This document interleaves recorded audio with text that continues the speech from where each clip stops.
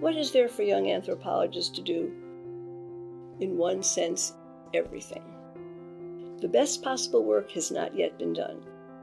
If I were 21 today, I would elect to join the communicating network of those young people the world over who recognize the urgency of life supporting change as an anthropologist. But even so, I speak out of experience of my own lifetime of seeing past and future as aspects of the present, knowledge joined to action. Knowledge about what man has been and is can protect the future. There is hope, I believe, in seeing the human adventure as a whole and in the shared trust that knowledge about mankind, sought in reverence for life, can bring life.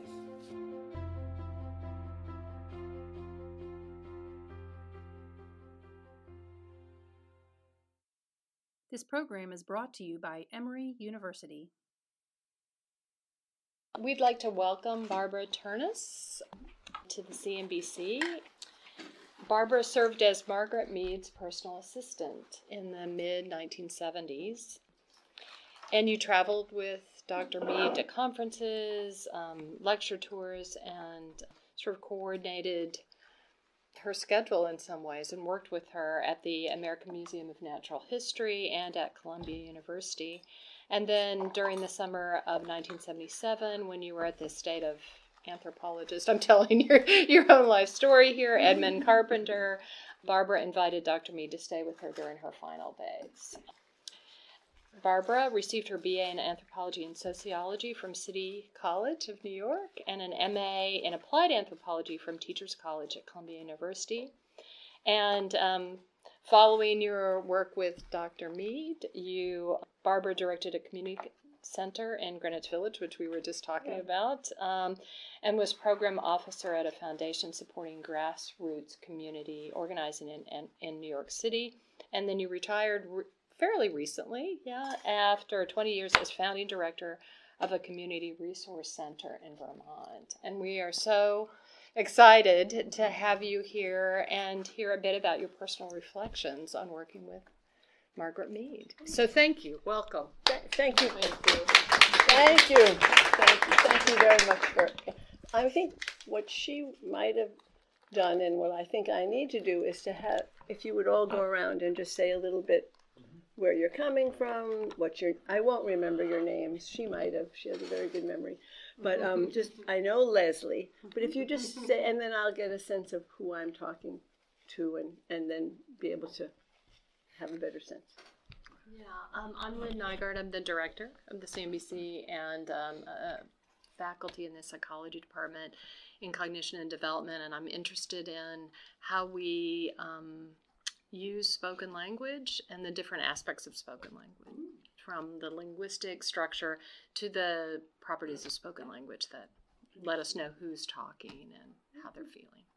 Philippe Rochat, uh, I'm a faculty here in psychology. I'm a developmental psychologist interested in early social cognition, but also from a cross-cultural perspective.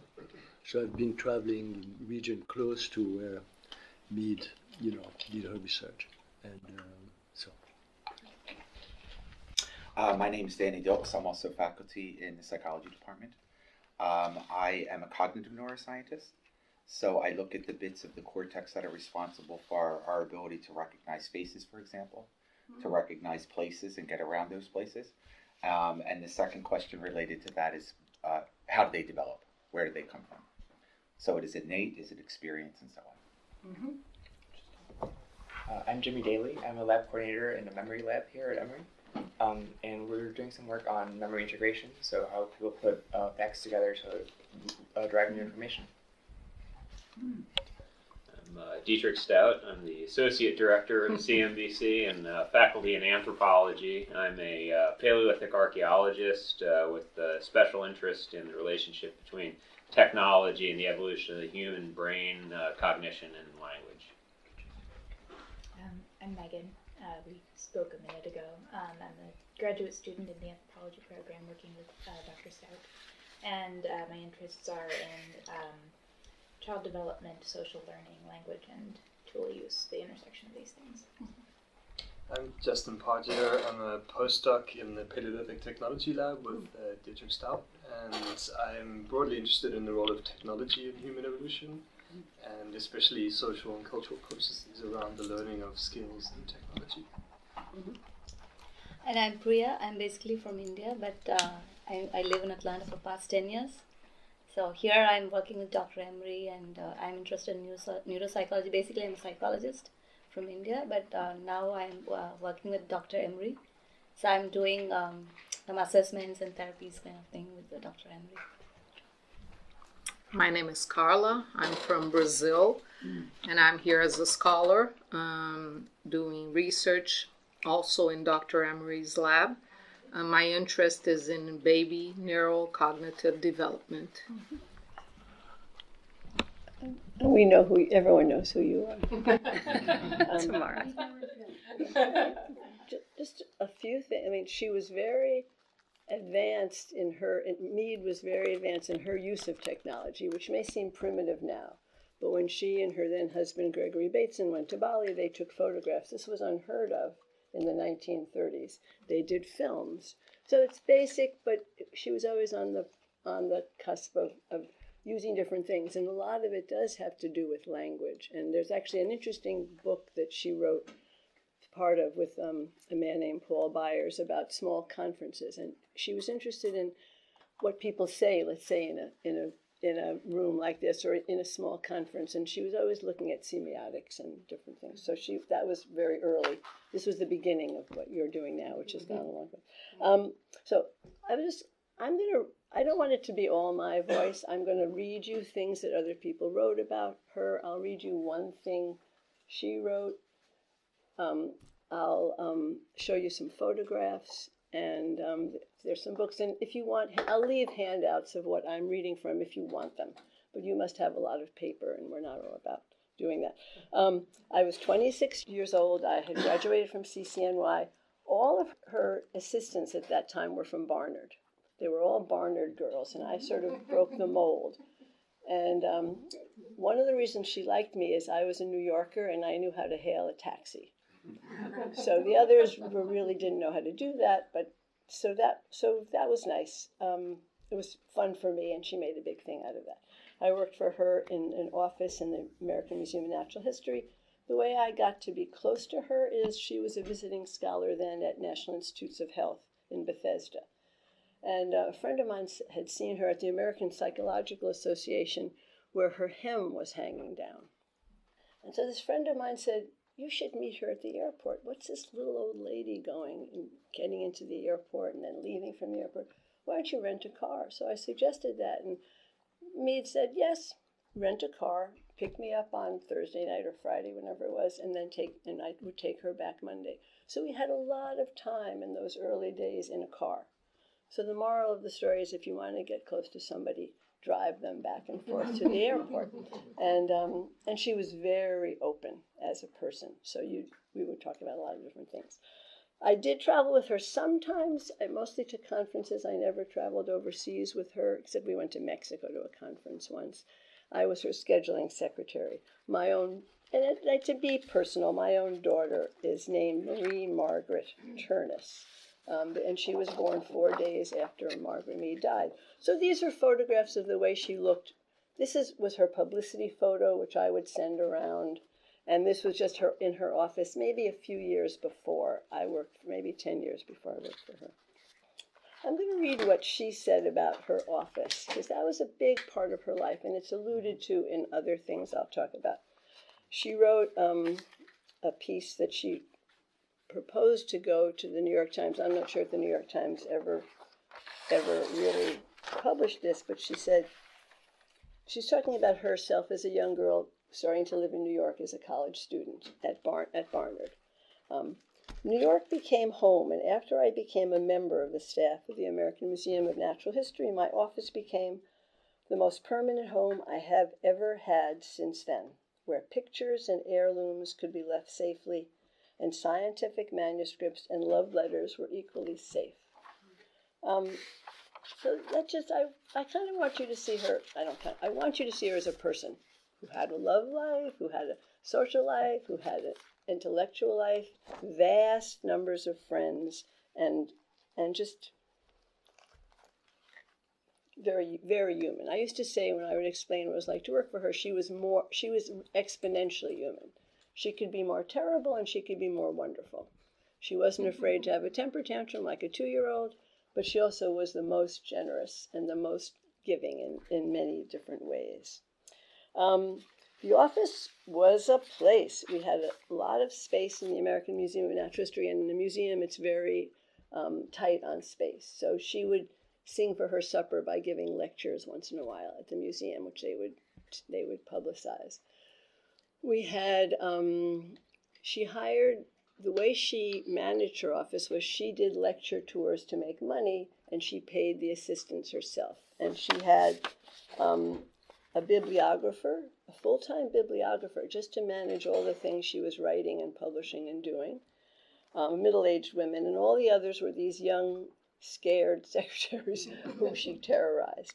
Um, I was a scheduling secretary, there was a publications assistant, or secretary, we called them secretaries then. There was a correspondence mm. assistant who just took care of all the correspondence, full time jobs. And there was a photo assistant who took care of the photos, the photo requests.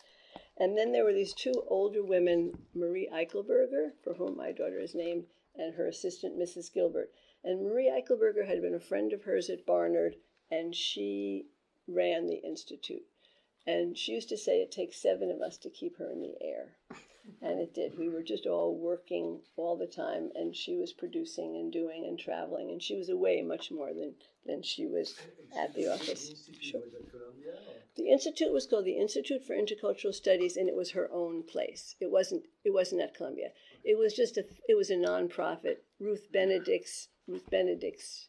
Some of Ruth Benedict's royalties went into it. Some of Mead, all of Mead's lecture tour money went into it. And through that money, she could pay these five assistants. It was its, her own private foundation. And she funded it by traveling, which she loved doing, traveling all around the country and, and speaking at colleges. And that's how she met Austin Ford. And that's how I met Austin Ford. So she came to Emory as a visiting scholar in residence in the 60s there's many versions of this story, but my version that I heard was that she said to someone, I want to find out what's going on in civil rights here in Atlanta. And someone said, You have to meet Austin Ford. So they became lifelong friends. And then when I, that was in the 60s. And in the 70s, when I was scheduling her to come to the South on lecture tours to colleges, she would say, I want Austin to meet me at the airport. I want him to drive me around because he can be quiet. I think people talked a lot to her and wanted her to talk to them, and she sometimes just wanted it to be quiet. And she admired him, and they were great friends. Um, and, then, and then I developed a friendship with Austin through that way, and that's why I come to Atlanta. So another way we did things was everything was color coded. I was green, she was yellow, this other woman was blue, someone else was white, someone else was pink. And this is the days of typewriters and paper and carbon copies. Mm. So we would, all of us, write long memos to her almost every day, and it would have, like, I, I mine would be green with a carbon copy, and she would, I would say, I'm sending you 16, I mean, maybe 20 requests for things to do, 20 requests of people who want to see you. The publication secretary was sending her her 20. We had an interesting system, which I sort of, of red dots. So if you wanted to, how would, this is the way she thought, like how would you make something out of this list that all looks equal? You could put red dots on it. Two red dots was even more. Three red dots was even more. Sometimes she said it looked like measles on the page because there were so many red dots because we were all concerned that she would pay attention to what we were saying. We would leave these bags at her apartment, which was right across the street from the American Museum of Natural History. She would do whatever she did, and we would pick them up in the morning with her annotations. So enormous. She also would get up at five in the morning to write while it was quiet.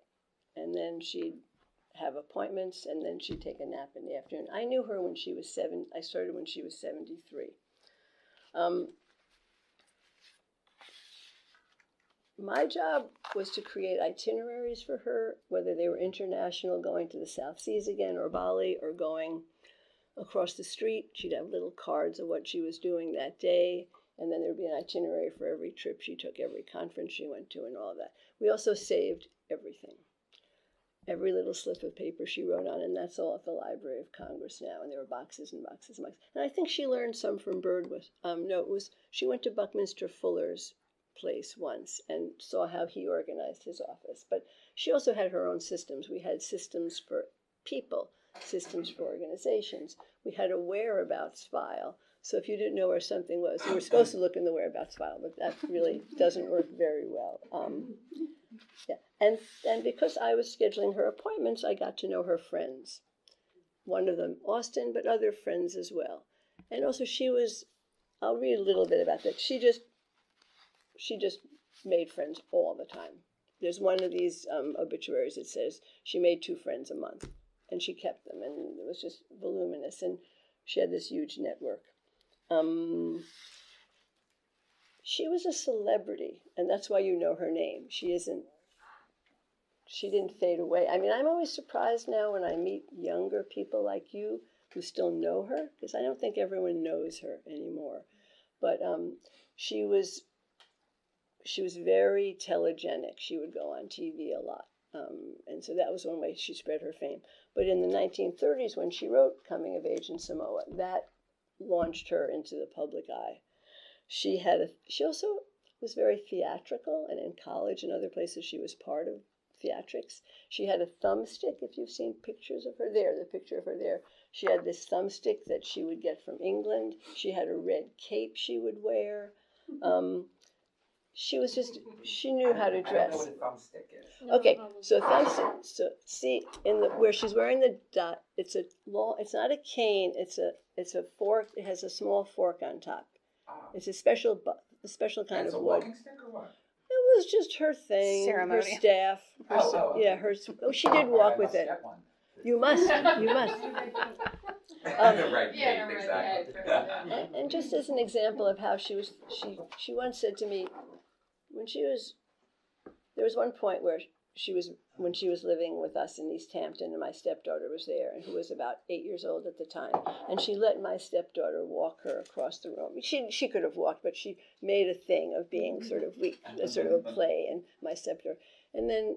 Later on in the day, I said, Thank you, that was so nice to involve Kate. She said, I can do Margaret Mead. she could. She just very out there. So I'm going to read you something. She wrote for Redbook, a monthly column. So that was another way. But she wasn't. It wasn't about being famous for her. It was about communicating what she wanted to communicate to the widest audience she could. So Sey Chassler was the editor of Redbook magazine then, which was a woman's magazine, and he wrote. Tributes like these to her life will make her sound formidable. She was not. She was accessible to everyone. She was as helpful, direct, and friendly, speaking to the congregations of the smallest churches or synagogues in Iowa or Maine or Georgia or to villagers in Greece as she was unawed, forceful, and wise in the White House or in the halls of Congress, where she was frequently called upon for advice and counsel. New York cab drivers knew and admired her. Octogenarians and teenagers in the South Pacific honored and loved her and looked forward to her comings and goings. And then the other part, um, which is part of this, she said. On behalf of all of us, she worried constantly about the dangers of nuclear radiation, the piling up of nuclear weapons, the distribution of nuclear wastes, the pollution of our air and our earth, our water, and our general disregard for the safety of humanity. She sought ways for women and men to learn to live together rationally and in comfort. She was worried that our communities did not care well enough for homeless children mm-hmm. and the handicapped and the aged. She spoke as she wrote directly with kindness, casting no blame, leaving no guilt. He knew her well. Can I interrupt you? Of course. I, am just really curious. I mean, you're not a psychologist again. Uh, do you know something about her parents? I mean, was it an academic uh, household? Uh, were they intellectuals? Uh, They were intellectuals. and, yeah. and they were uh, politically liberal, or I mean, do you know about what? I think, you know, I read her book is Blackberry Winter, and she talks about them a lot. I really can't answer you in enough detail. I know her father encouraged, she felt her mother had the social part, the, the caring about the world, and her father taught, was interested in education. So she thinks, at one point, she says she was an educator because of him. But you, but So I, it, and I have, He was a teacher. I just I don't know enough. I mean, I read it and I was rereading it, but I can't read. I can't really give you a thing. Um, the other thing she did, and I want to give you all a chance to ask me questions, and we don't. Well, I had been at meetings with her where she could get the gist of the meeting like that.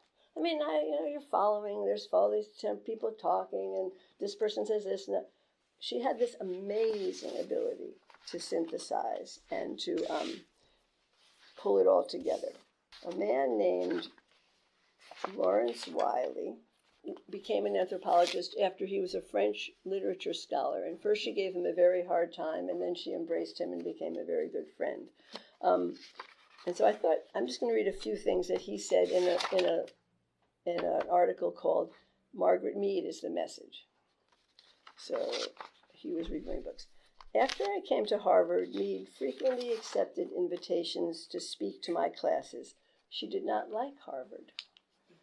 And the honorarium I could offer was ridiculously small, but she welcomed a professional excuse to come to Cambridge and Boston to see her sister and her daughter, Kathy, and her family.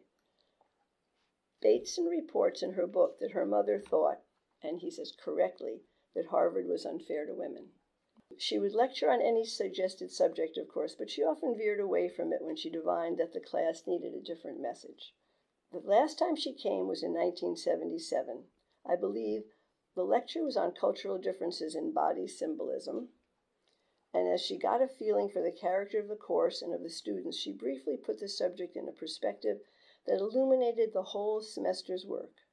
No wonder the students told me later that they longed for someone like Margaret Mead at Harvard, but who could have been like Margaret Mead? My husband, who knew her well, said that what she really was was a communicator. And I think you see that in she used film, she used photographs, she used she used the TV, she used books. But she also really adored anthropology. and I'm going to read you something that was written. This is from Blackberry Winter, which she wrote late in life in 73. What is there for young anthropologists? This is her speaking now, not anybody about her. What is there for young anthropologists to do? In one sense, everything. The best possible work has not yet been done. If I were 21 today, I would elect to join the communicating network of those young people the world over who recognize the urgency of life supporting change as an anthropologist. But even so, I speak out of experience of my own lifetime of seeing past and future as aspects of the present, knowledge joined to action, knowledge about what man has been and is can protect the future. There is hope, I believe, in seeing the human adventure as a whole and in the shared trust that knowledge about mankind, sought in reverence for life, can bring life. You're not all environment. Maybe you all do have some sense of the environmentalist, but I think another way she was very advanced in that, really worrying about the planet. So this is something else she wrote. She wrote this in um, a book she wrote called World Enough in 1976. It was a book with photographs. She did a lot of collaboration with people, and she collaborated with a photographer named Ken Heyman, who said to me once, Barbara, she's staying with you. She could have stayed anywhere. I said, Ken, nobody else invited her, uh-huh. and she's staying with me. And then he came to visit her in East Hampton. But I remember this is this is her talking about in the book she did with him called World Enough. It is open to us to correct the damage that has been done when we gutted the resources of the earth, polluted its skies, distorted the lives of millions of its inhabitants. It is open to us to correct for the consequences of our limited purposes and partial understandings by widening the purposes until they coincide with the solar system in which we live. As we became human when we could think of and talk of and take into account those whom we had never seen, we became more human because we can now think of the fates of all the peoples on this earth at once as part of one system. It is open to us to focus our purposes until they include each living being, those now alive and those who will be born in generations to come. The last thing is my husband's obituary of her. So my husband was the editor of Natural History magazine at the museum, and they were they were friends before I knew him. I met him when he came to her office. Oh, I will find it. He was talking about the peoples of the Pacific Hall because he his Natural History magazine was doing a supplement on the peoples of the Pacific Hall, her hall, and that's where I met him. And so, and so he, she was very important to us as um, as a couple, as a you know.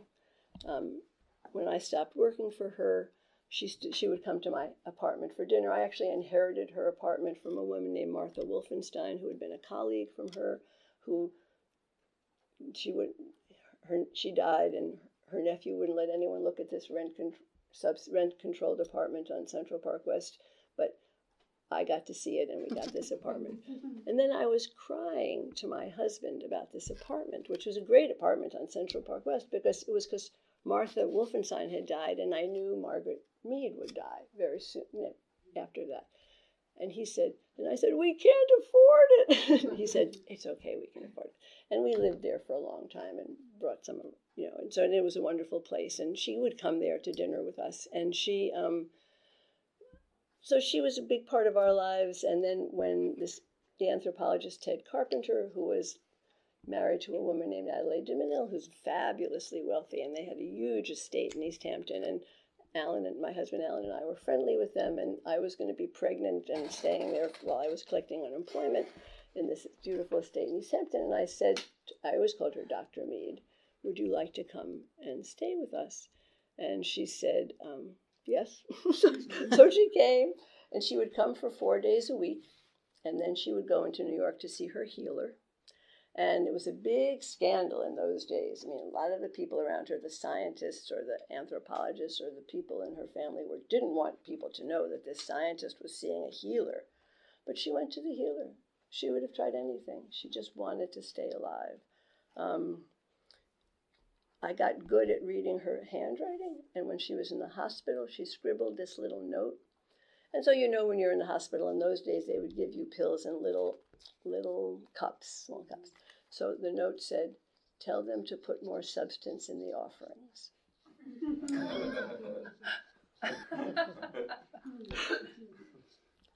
and and I, I don't anyway, she wanted to live. She, and she had cancer of the pancreas. And so these are some pictures of her in East Hampton. Um, it's still her, very her, but you can see, and they treated her like a queen. So we were in this lovely, lovely house, our own guest house, and then there was a main house. And when Ted Carpenter and Addie de Menil came back from being away in Bali, the main house would send food over, and it was like a procession of these these servants bringing her anything that would entice her to eat. And then there's a story about her eating. So the healer put her on a special diet, and I'll never royal lunch crackers, and everything had to be organic. And this was 1977, and everything had to be pureed, and they would bring around sorrel's puree and all this stuff.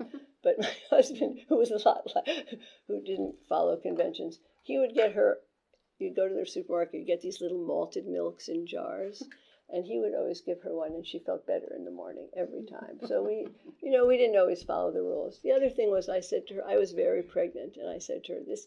She, it was tense, obviously. It was it was not an easy time she was wonderful and it was fun and it was funny, but it's also this sick woman and worrying. And I was 30 years old, pregnant for the first time, and here's she is. And so I said to her, This isn't good for the baby. And she said, If it gets bad, I'll leave. Hmm. So we stuck it out.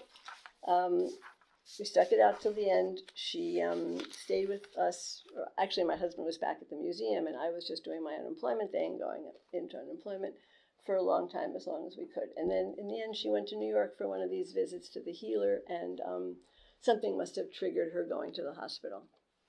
And then um, in the hospital, even even Margaret Mead, they can't keep you there unless they're doing something to you and whatever they did, that was just sort of shortened shortened her lifespan. Um, and but she wasn't going to live very long. She had cancer of the pancreas, which in those days was quite incurable. Um, so my husband, as the editor of, of Natural History magazine, had published some of her stuff and also published archaeologists and anthropologists and natural history stuff. And they were, um, she once said to me when she made me very unhappy, and you have Alan and he's interesting. and I think, I think interesting was the operant word, to be interesting. Um, so this is what he wrote. This is, and there's copy. I've made copies of these things that I've read from if you want them, but and I'll put them out there. So he wrote. Um, his is my favorite of it. In coming years, biographers will illuminate the many facets of Margaret Mead scholar, scientist, cultural anthropologist, commentator, humanist, champion of the young and old, the oppressed and misunderstood. But the biographers might miss two facts that explain much of her phenomenal impact on so many people in the world. First, she was a deeply religious woman. Her sense of good and bad was astute and ever present. She always strove to do good. Secondly, she had a touch of the poet, not in the sense of a precise polisher of words, but in the broader sense of finding the right image or metaphor that would have an awesome truth. She had an intuitive sense of timing. Her insight, sometimes based on only fragments of information, most often proved correct. So, so she was, you know, I'm glad you're interested in her. Let me end it at that. Oh, there's one more thing I just wanted to show you. There's this one more thing. We'll put it in the middle. So when she turned 75, and I was working for her then, my husband created, it was his idea, but he got other people to do all the work, the Margaret Mead Film Festival as a birthday present to her when she was 75. And the Margaret Mead Film Festival was about anthropological films at first, but then it's now become this very big deal. And she was there at the first Margaret Mead Film Festival, and they took out what you know Redbook, and the museum took out a full page ad. So those are more pictures of her and what she looked like and what they said about her. I have genius of question, but I'm not going to grab it. But there's one thing that uh, the, she was alive when uh, uh, this guy from Australia, Freeman. No, no, she was dead. Oh, she was dead. She was dead, and it was very impressive. So you know about that. Yeah, that was interesting. Uh, but but she had some exchange with him before she passed, didn't she? No. Okay. I mean, not not about what he was writing. He wrote after she died. They say that he, she died in '78. No, no, but this I don't know if you all know about. I don't. Do you want to explain that? well, there's. Uh, I should ask anthropology to that. There's this guy. What, what is that? Freeman? Freeman? Freeman? Freeman. I think Freeman. Derek Freeman, an Australian anthropologist. Australian anthropologist who uh, had field work in, in Samoa. Uh, and you know was a Matai, a chief there, and he, he he knows he knew the language and all that, and he did his own work and basically wrote a book that was pretty exposed in 1980, I think it, it came out, and mm. became enormously controversial. I mean, uh, and where he was putting into que- in, into question uh, the the coming of age original book. Her work. He, he, tried to debunk her work yeah, and say it was false. Interviewing um, some some people who I mean young at the time young woman who you know just report her experience of being coming of age in, in Samoa with no particular adolescence crisis or, or yeah. conflict that became a model against political model against uh, the, the, you know, the issue that was happening in, in the United States with uh, the problem associated with coming of age, that it was possible to come of age without uh, uh, all the crises that we have. So it became. There, there are two things. There are two things important about that. I mean, she. I mean, she was not. She was an anthropologist. She was a member of the American Anthropology, but she wasn't a big, chummy. But they came to her defense. I was so impressed and surprised. They, she, a lot of anthropologists defended her. The best thing about that is, well, they, they either they either they were not trying to take sides or they were saying what she did. The best answer to that is what Ted Carpenter said to Edmund Carpenter, who's really interesting too. If you want interesting, um, he said, "Do they do they criticize Columbus's maps?" That's the point She went out, she was the first woman, 20 something years old, going out to Samoa by herself, doing field work. I mean, I'm sure, she, you know, so I, I think he said, I think he said it all.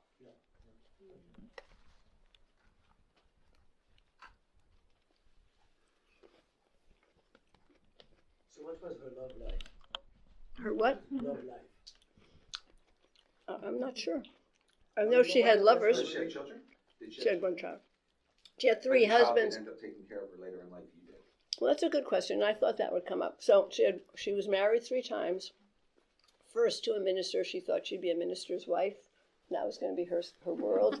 And then they divorced, and then she married a man named Reo Fortune, and they did field work in in New Guinea together, and that's where she met Gregory Bateson, and that's when then she married Gregory Bateson, who is in his own he's the most famous of the husbands, and um, and he's famous in his own right as a as a almost philosopher anthropologist, talking about lots of very about um, other world.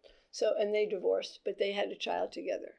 Her child, her, Kathy Bateson, Catherine Bateson, was married to a man, an Armenian man, and they were living in Iran, and they had a daughter.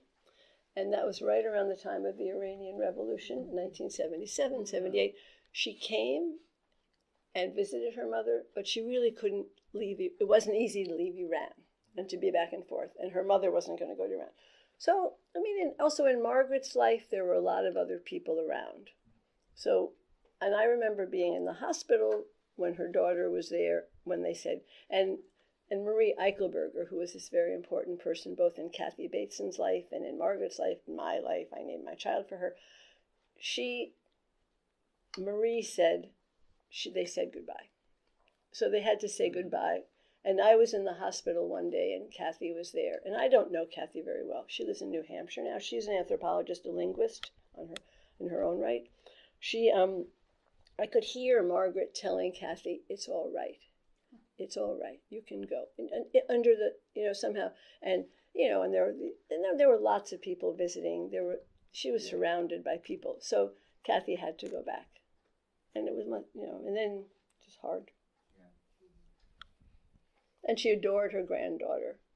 And she was also, I mean, we, we alluded to this, she was very interested in children and a lot of the work. In fact, there's some monograph there on, there's a little book about Santa Claus, an interview with Santa Claus. There's a book about play, cross cultural play. A lot of her interests were in, in children and raising children.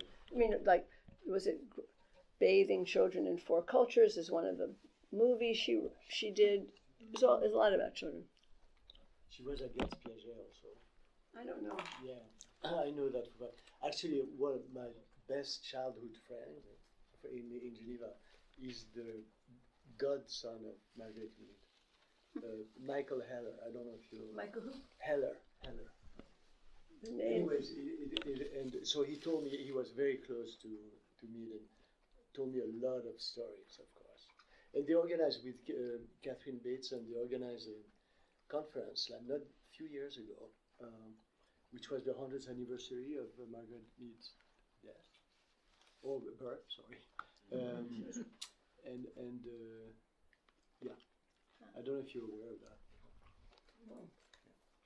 But, that, but one, would- one question that I have, I'm really curious to see if uh, Margaret Mead kept intellectual exchange with Gregory Bateson No. as time went on. Oh yes. Forever. I mean, till she died. Okay. In fact, I answered the phone to tell him she died, hmm. and he had at that point he had cancer, lung cancer, and he said, "I'll be joining her soon." Hmm. So, and they were colleagues. They worked together.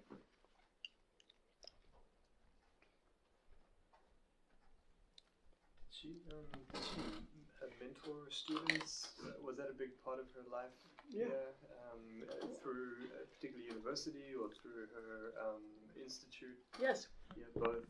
So my the person whose job, who was my predecessor as scheduling secretary, she became an anthropologist, and there's a recent book of things related to something Mead did, and Nancy Lutkehaus is there, and she she kept, and there were a lot of students who became who who became who stayed close to her, She also had an interesting way when she, as a, I would schedule her appointments at Columbia as well, but at Columbia, she graded you against yourself.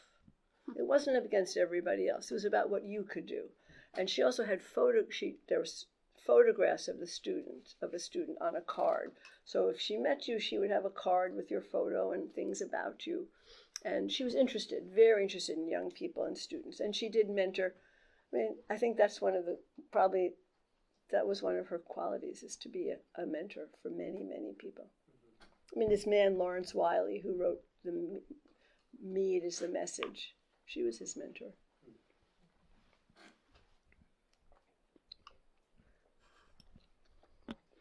What was her relationship to Ruth Benedict? Uh, I mean, did they? Was it? Was there more than uh, uh, advisee advisor relationship? I don't know anymore. I don't know personally, mm-hmm. but if you you you can read the things as well as I, the things that are written, and there's letters from the field where they're writing very loving letters to each mm-hmm. other, and I think they were very close. But I don't know anything. When did Ruth Benedict die? I don't know. It was In the fifties or something? I don't, I don't know.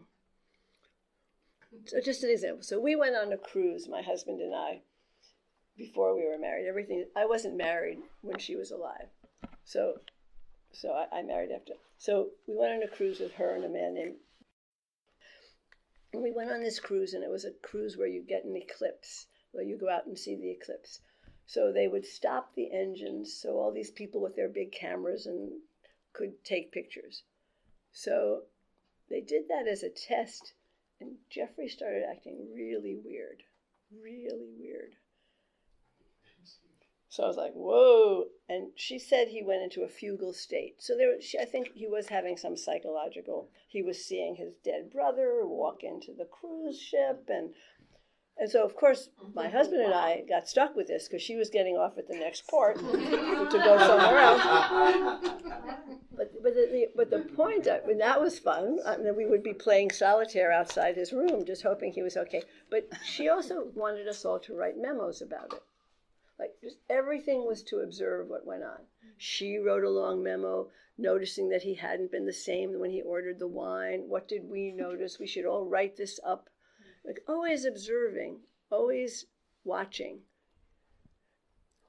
When they te- they started doing IQs in Barnard, I mean, she took an IQ test in the 30s in the Barnard. This is the beginning of the psychological testing, which some of you are doing now. Mm-hmm. She was off the charts. The most amazing memory and just but also just smart. And, and also what is smart and what is an iq test test but just smart in a way observing. And some of her field notes which i didn't bring because i had a couple it's like the way the mother's arm went over the, the baby the way she took the arm of the baby and just the way she was as a poet too but just watching. And when she taught anthropology students she was trying to show them how you have to observe everything. It's hard. So she wanted us to observe Jeffrey's fugal state, which thank God he got out of in a while. So I said to my husband, "I'm drinking my way through this. We're going to have sherry all the time. This is this is going to be bad." But she's getting off at the next thing, which was which is also like her. I mean, we could handle it, and she wasn't going to be. Where was the cruise that you were talking about? we went? We went through the Panama Canal, and um, went into these other like into Mexico, and, then you had to maneuver around.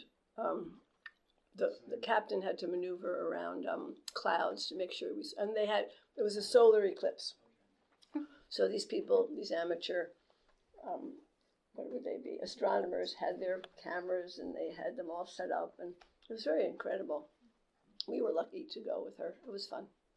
My friend told me that uh, she she told him that uh, she felt very lonely at times, like in a hotel giving talks and stuff like that. Did you witness that? Did you notice It doesn't sound right. It Doesn't I just don't I, I never experienced her. I, I, I never heard her say that. I don't know, but I'm but there may have been times she was. I don't know that that um yeah, it, it always She was- reminded me. I don't know what you know with fame and lots of exposure. There's this kind of vacuum. Yeah. Well, this whole thing of picking her up at the airport. Here's this 73 year old woman, but she was capable. She didn't really need me, but she enjoyed people and she made friends everywhere. And she kept her friends. Huge Christmas card list, and she and she cared about people and she and they'd have parties and parties in their home and her home and I mean she just really was that's why I, there's one book there called Life is with People, and that's what I think about her. It, it's the title of a book about the shtetl that these um, anthropologists wrote, like an oral history of people who'd been in in um, in Eastern Europe, and it's just all about life is with with people. So she may have been lonely at times. She never showed it. She wasn't so in East Hampton. So this is this is a funny story. So I think so. So in East Hampton, there was one time for some reason I couldn't be there with her. And so these these two people who were still working for her, these two secretaries came and they were sleeping upstairs in the bedrooms and she was downstairs in her grand room and and in the middle of I heard about this. I wasn't there. She rings a bell. And they run downstairs and she says, "I feel better." oh, wow. She's funny. She, she had a great sense of humor. Yeah. So I don't. She wasn't lonely then. She knew, and she knew how to call people. she, she, with, I mean, how many copies of Coming of Age has been sold? Do you have any idea? I have no idea. Okay, millions. What? Literally, millions. Yeah. Yeah. yeah. So she she's been rich. I mean, she was rich. I mean, No, she, she became, rich. but she became rich. No, she wasn't rich. Okay. I don't know. I mean, I, she just wasn't rich. She wasn't rich. And and like, so, so so she wasn't rich. I knew. I I know where she lived. I mm-hmm. and she could buy, it, but she didn't care about money. So once, so Marie Eichelberger, the administrator of this, her friend would just hand her cash, and everywhere she went, she'd get a wad of cash. This is before credit cards were. So, so she she had no concept of money. She just paid the taxi driver. So one day she realized she was underpaying all of us. So the next month we got raises like a fifty percent because she realized that she didn't realize that we were being like paid peon. We, I mean, the, the other secretaries and I were just weren't being paid a living wage at all. So she just raised it. So I kept that. We had little sheets anyway. So she was capable of the grand gesture and capable of doing things, but she didn't have any sense of money. And I mean, she would go shopping in Florida sometimes because they had old lady clothes, and there was a dressmaker who would do things for her, and she didn't need things or care about things. So she was here at Emory for a visiting scholarship, and that's where she met Austin Austin Ford. Okay. and probably a, yeah. And she maintained that friendship. And you, Oh or you- yes. yeah. Oh, yes. And then and it was pretty one. So they were friends, and then and I became a friend through the telephone, and you know I became his friend, and we became close. And then when I was with her in East Hampton, he's the only one who called and said, "Barbara, how are you?" Hmm. And then I said to him once, "Are you her spiritual advisor?" And he said, "I'm everyone's spiritual." he was pretty interesting too. Yeah. Yeah, Barbara, were- you were with her for how long? I worked for her for four years. And so you were grossly underpaid? Why did you stay? It was probably the most interesting. The, probably it was an incredible thing. Also, then I left. I left before she died. I knew I had to go do something else. I was in my late twenties and I needed a different career. I wasn't going to be a secretary for the rest of my life. But it was pretty wonderful. Also, I got these two classes at college every semester, so that paid. They paid the tuition. I took a course. I knew already Ted Carpenter because I'd taken courses with him in in um, California. I met him when I was studying in a summer in UCLA, and then I would take a course he taught at the, at the New School, and uh, so and it was it was in, it was interesting. It was never dull. um, so I stayed, and then I left, knowing I'd do something else, and then um, and then then I got pregnant. I sound like a, and I was like an unwed mother. So I was pregnant, and I stopped working, and um, and then so, but a lot of people there. It'd be interesting. It would have been interesting. It's impossible to have a reunion of all the people who worked for her. Some of them so such interesting women, all women. Always. When I was there, I th- I think always women. But then women were secretaries then. And what she needed was secretaries. She didn't, yeah. She was French, she had men, male students, and there might have been. She, Right. she had, uh, what was the ratio about of male, uh, male female students, like graduate students? I don't know. I don't know. She taught undergraduate and graduate. Yeah, yeah. Let me, she had a lot of doctoral students, right? I mean, she had doctoral students, but she wouldn't have been an advisor on your thesis. I don't think she would have sat still long enough for that. I think she was always traveling, so I don't remember when I was there that she ever was like a thesis advisor. She would be, she would teach a graduate class, but she only taught one semester out of the two. Mm-hmm. Was the foundation after she was emeritus or something?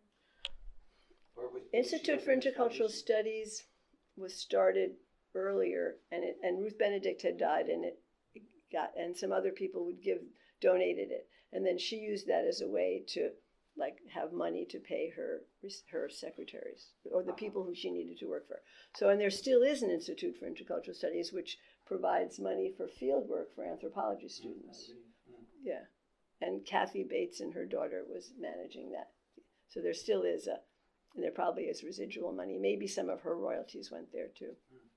Have you met Gregory Bateson? Have you met Gregory? I think I did once. That's an interesting. He's an interesting guy. Always margin, never got a faculty position anywhere really, you know, stable. And he's been hugely influential. You know. Yes, he's been hugely influential. He really was thinking a lot about psychology and the interface, and he was way, way ahead of his time in his way. This book on uh, Bali, the photograph they did on, on breastfeeding is just like gorgeous. I think there's a copy at the, the library. I mean, if you don't know it, you should do it to look at it. It's just magnificent. Oh yeah, that's right. Yeah. What was her background? How did she get into this? She was from Pennsylvania, right? She went to. She went to DePauw University at first, and then then transferred. To, then got her father to agree to send her to Barnard. So uh-huh. then she went to Barnard, and then she was very influenced by Franz Boas. Uh-huh. He was the anthropologist, and, Got and so he then she became an anthropologist and found her calling. I think she might have, you know, I'm not sure what she was majoring in at Barnard. She was, But Boas was, was at Columbia. yes, mm-hmm. and also at the museum, I think. Mm-hmm. But he was her he was her mentor, and Ruth Benedict's. And he was the, the, the advisor of Ruth Benedict. Yes, both of them. Yeah. So Boas Franz. In the letters, you see them referring to Papa Franz. Yeah, yeah. he was another interesting man. He was very interesting. Yeah, very smart. And that had a lot to do with race, too. Because he was looking, he was pretty advanced about race relations. And some of anthropology are going to the third world, and it had to do with breaking down, thinking that, I mean, people thought that races were inferior. And he was, he, what he was doing and what they were, was debunking that. So what, what is difficult when I talk with children about Mead and her work and, and things like that, uh, it's it's always quite difficult to dissociate the political agenda and you know the conviction from you know the, the actual scientific uh, observation I, I found. So we discuss. It's a great topic to, because pretty, I mean, if you read Coming of Age or uh, there's clearly there was some you know political visions and there was a message, a clear message that she wanted Yeah, to send. there was a message. There's a message about the world and, and accepting everyone. Basically, it's a religious message. We are all equal at God's So table. when you said that she was religious, I found that interesting. because She was Episcopal and she was religious. She was religious. But, but in terms of politics, something I forgot to bring up was that she campaigned for Jimmy Carter, the only person she ever campaigned for, your Georgia guy. So she campaigned for him. Because, partly, I think she he was also religious, but also I think she felt it was time for this country to have a Southerner, and she saw it in this bigger perspective. And then when she was in the hospital dying, he called her and tried to reach her, and she said, "Just tell him he's too busy. He shouldn't do that." to do it. I mean, But it's like he he doesn't have to bother. Now I don't think many people would do that if the president were calling them. You know, at the uh, at the outset, you said something about uh, um, it's nice that younger people still know about Margaret Mead. But I would say, actually, if you were to approach somebody, say on the street, and say name an anthropologist, if they're able to name anybody at all, it would be Margaret Mead. Uh, I think, and you know, it's like the idea of a famous anthropologist is almost like an oxymoron now. Certainly, the idea that an anthropologist would be wanted by a presidential campaign to speak on their behalf. Yeah. So, uh, Yeah. what is it? Just that she was such a, uh, a magnetic uh, personality. Was it about her, or is there something about what she was doing that was more in tune with the times than? I think she was a magnetic personality. She's one of these people, and there's some of these that say like you were in you were in the presence of greatness. She was great. I mean, what does it mean? She was great.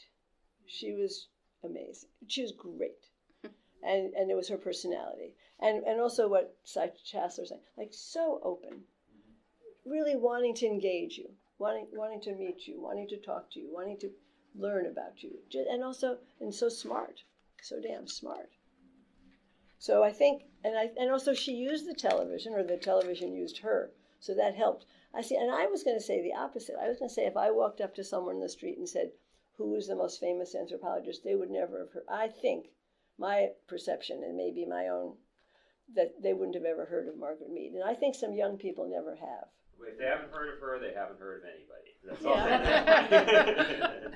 No, I mean you would be surprised that uh, this generation of undergraduate students, they tend to know. In my seminars, they, they tend to half of them tend to know. She's covered in you know all intro classes, and, even in psychology. But she was groundbreaking, Yeah. and and she also wrote a lot. if you want to, just her her bibliography was a book. Hmm. Yeah. Austin used to say, "We were lucky to know her," hmm. and we were. And we feel that way about him. And Can we you feel just, that way about him. for the record, just say who he is? I don't know that. Well, Austin Ford was a minister in Atlanta who just died a few weeks ago, who was a good friend of hers, but he, uh, a white Episcopal minister, had was the first rector of St. Bartholomew's, and then he convinced the Episcopal Church to purchase a dilapidated building in a poor black neighborhood, Peoplestown, and he moved in. And he created a settlement house called Emmaus House, and he fought alongside civil rights leaders. He was one of them in Atlanta. He helped integrate the, the schools. Alan and I once were in Cumberland Island, and we were sitting next to someone, and he had arranged for us to be there, and we told her that he had that we were friends of it. She moved away because he had mm-hmm. integrated the schools, and then she had had to send her daughter to private school. he had a huge impact on Atlanta and on and in, and in, in bigger worlds too. So he he was a civil rights leader, an amazing champion of the poor and the disenfranchised, and, and stayed living in this poor black neighborhood at the settlement house until he was too blind to drive the school bus, where he took monthly trips to Reidsville prison so people could see their loved ones. So, so, and so. He, he was in the theology department. Where, which department? He was affiliated to Emory. I mean, he Undergrad, 50. The what? He graduated from Emory in 50 and is undergraduate. Okay. He went to Emory. He got the Emory Medal.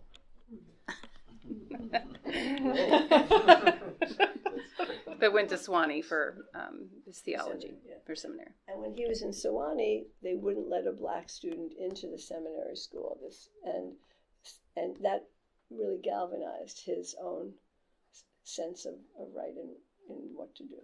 And then he and then he and when and so my husband and I would come every Christmas with our children, and Christmas Eve was very integrated. He was all about he was promoting integration in the South, in Atlanta, and other places. He believed strongly. So they had a lot to talk about. They were good friends. Is there a Wikipedia page on him? Yes, I mean there is, and if you look him up, there's articles about him, Okay. and you can find out about about him. He was African American. He was white, so, he's died, and so you, when you that's not funny. So when you, he died, and when you die, and there's a will, they have to send it to your cousins so they can protest. We can't find his cousins because they weren't talking to him. So that's interesting. So he really, he like her, he had so steadfast, like he did what he knew was right. He knew it was right, and cousins, other people, even so. So he's he. I, I we're lucky. We we're lucky to have known him. Yes. Uh, Leslie was very involved in his life, a neighbor of his, who shopped for him every month for a long time and amused him and come over and talk politics. I'm sorry, I I forgot what you exactly you doing. What is your? Hmm Here? Yeah. I help tomorrow. yeah. So- yeah. Yeah. But um, through this friendship and uh, Barbara and when I came and thought, hey, anthropology. Want to hear about Margaret Mead? Because I know that they were all very close friends and that Barbara had worked for him. So. Are there, um, oh, go ahead. Do everybody introduce yourself. Just do you want to? You came in a little bit late. Oh, I'm sorry. Hi, I'm Aki Gillespie. I'm from political science. Oh, nice to meet you. Thank you. Was it? Yeah. Well, um, yeah, we're um, a little bit over time. This was um, really, really interesting. Thank you so much for agreeing to do this and coming to talk to us. And um, thank you. You're welcome. Thank. I, I don't know if you, I mean, I learned not to give out paper when you're speaking, just let people look at the paper. So, um, these are, these are copies of the things I read from. So if you want any of them, just Oh, feel no. free. And I also brought books over there, just from my collection, that seemed more interesting than usual. Thank you And very we'll much. post It's a up- pleasure for me Barbara, to thank you. meet Good meeting you. Yeah. That, that was really a,